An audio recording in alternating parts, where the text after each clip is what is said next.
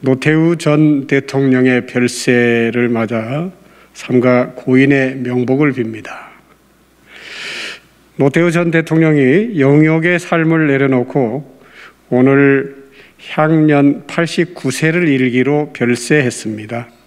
노태우 전 대통령은 12.12 군사 쿠데타의 주역이자 5.18 광주 민주화운동 강제 진압에 가담했던 역사의 죄인입니다. 국민의 직접 선거를 통해 당선되었지만 결과적으로는 군사 독재를 연장하였고 부족한 정통성을 공안 통치와 삼당 야합으로 벗어나고자 했던 독재자입니다. 다만 재임 기간 동안에 북방 정책과 남북 기본 합의서 채택, 중국과의 국교 수립 등은 평가할 수 있을 것입니다.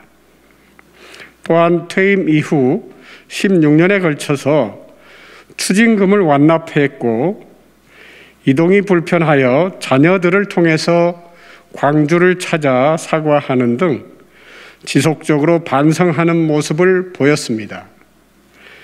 그것으로 억울하게 돌아가신 광주 영령과 5.18 유가족, 광주 시민을 위로할 수는 없겠지만 그의 마지막은 여전히 역사적 심판을 부정하며 사죄와 추징금 환수를 거부한 전두환 씨의 행보와는 달랐습니다.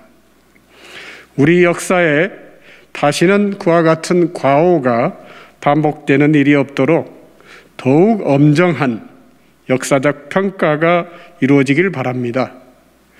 영역의 삶을 마친 노 전 대통령의 영면을 기원하며 삼가 고인의 명복을 빕니다.